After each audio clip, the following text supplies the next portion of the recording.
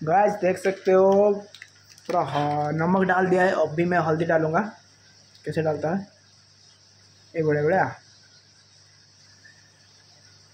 होगा? देख देख सकते हो गाइस मैं पूरा डर के डाल रहा हूँ हल्दी। और कलर आने के लिए हम डालते हैं हल्दी पाउडर।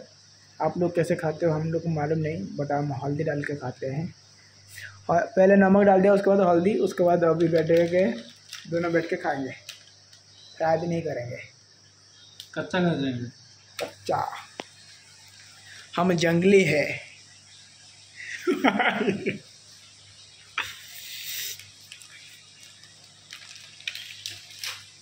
यहाँ पर देख सकते हो हमारा मछली का जो ये है पूरा प्रोसेस चल रहा है।